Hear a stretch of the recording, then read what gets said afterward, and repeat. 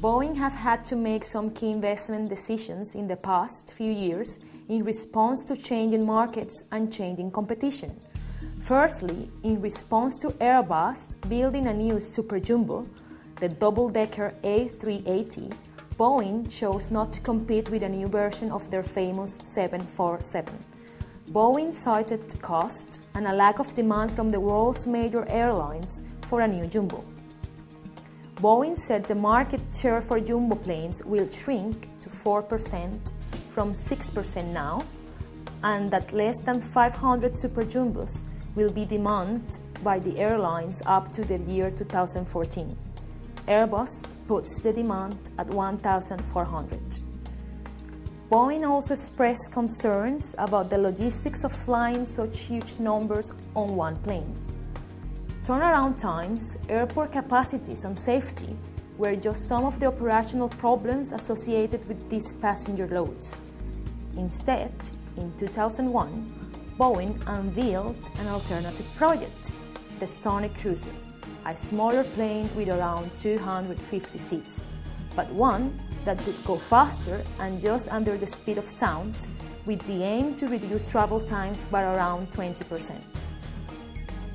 The company developed technology that would allow this plane to travel further, allowing London Sydney non-stop for the first time. Higher, less turbulence, and quieter, easier on the environment. Market reaction to Boeing's new planes was skeptical. They implied that the Sonic Cruiser was Boeing's idea, rather than the airlines.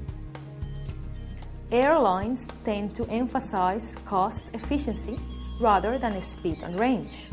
The airlines were not convinced that business passengers would pay a 15% premium on existing business fares for the higher speed.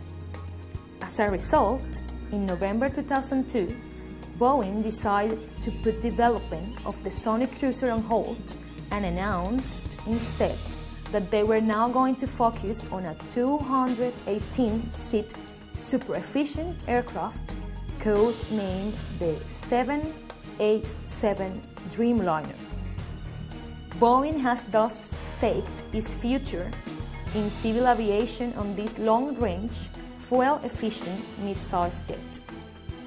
As a result of new lightweight material and a more aerodynamic design, the aircraft will burn 20% less fuel and will be 10% cheaper to operate overall than similar sized jets currently in service. Because more than 50% of the aircraft is made from composite materials rather than the conventional aluminium, the cabins will need to be less pressurized, which should mean less fatigue, dehydration, and headaches for passengers. However, the Dreamliner will only travel at 80% of the speed of the Sonic Cruiser. Boeing puts the market for the aircraft at 3,500 over the next 20 years.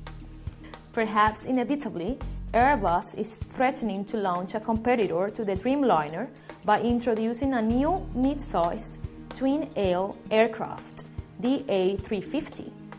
This will be an adaptation of an existing model, the A330 and will be bigger and have a longer range than the Dreamliner.